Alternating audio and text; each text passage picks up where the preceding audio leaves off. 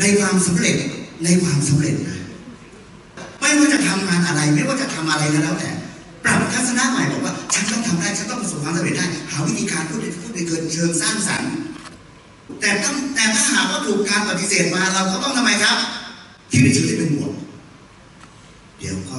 ต้องทำเดี๋ยวก็ต้องทำเดี๋ยวก็ต้องสำเร็จเดี๋ยวก็ต้องได้ เดี๋ยวก็ต้องได้เดี๋ยวก็ต้องได้เราก็ต้องทำต่อทำต่อทำต่อคิดในสิ่งที่เป็นบวก ถ้าเรามองในสิ่งที่ดีมองในสิ่งที่ดีคิดในสิ่งที่ดี รื่องที่ดีเรื่องที่ดี เรื่องที่เป็นบวกเรื่องที่เป็นบวกเรื่องที่เป็นบวกแล้วนั่นแหละความสำเร็จก็จะทำให้เกิดขึ้นแล้วก็เชื่อมั่นว่าวันหนึ่งก็จะประสบความสำเร็จนี่คือเรื่องจริงเลย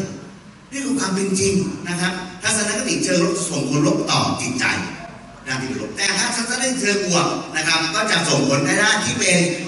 บวกคือมองด้านที่เป็นบวกหามุมมองได้เป็นบวก แต่ถ้าเรื่องอะไรที่ไม่ดีไม่ดีไม่ดีที่เกี่ยวกับตัวเราเองถ้าเราแก้ไขได้เฮ้ยเราพัฒ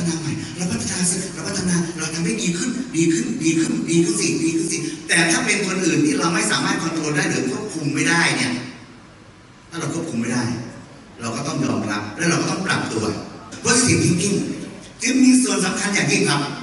ไม่ว่าจะไปที่ไหนก็แล้วแต่ ทัศนคติคุณต้องทำไมครับ ต้องบวก ต้องมองในด้านเป็นบวก ทุกสิ่งทุกอย่างสามารถเป็นไปได้ จากทัศนคติในเชิงที่เป็นบวกอะไรก็เกิดขึ้นได้ เป็นไปได้ไงซีเมนต์หรือปูนอะไรพวกนี้หรืออย่ามาต่อยหรืออะไรถนนนะนะต้นไม้ไม่งอกได้ที่จะมันถึงงอกอะไรก็ทำไมครับ เป็นไปได้ไอ้นี่ฉันทำได้ฉันทำได้ฉันจะต้องเอาชนะได้ฉันจะต้องสู้ได้ฉันจะต้องประสบความสำเร็จได้เราต้องคิดแบบนี้เลยฉันทำได้ฉันทำได้